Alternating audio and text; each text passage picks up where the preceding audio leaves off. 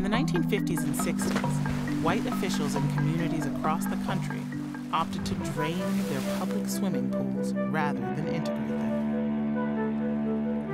The Sum of Us recounts my journey across the country from Maine to Mississippi to California.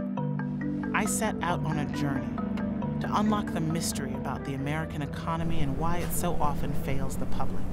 It turns out, racism, in our politics and in our policymaking, has a cost for everyone.